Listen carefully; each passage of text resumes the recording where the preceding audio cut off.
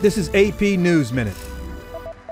President Donald Trump says acts or threats of political violence have no place in the United States. He's addressing the suspicious packages sent to former President Barack Obama, the Clintons, CNN, and other top Democrats.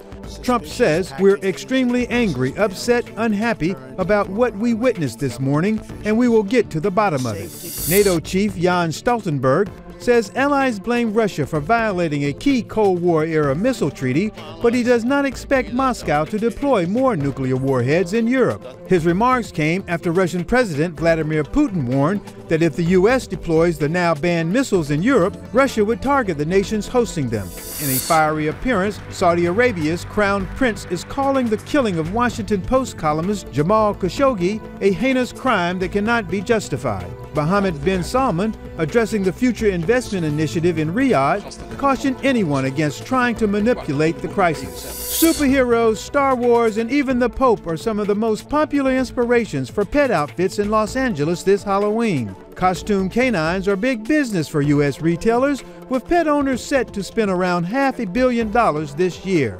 Julian Stiles, Associated Press, with AP News Minute.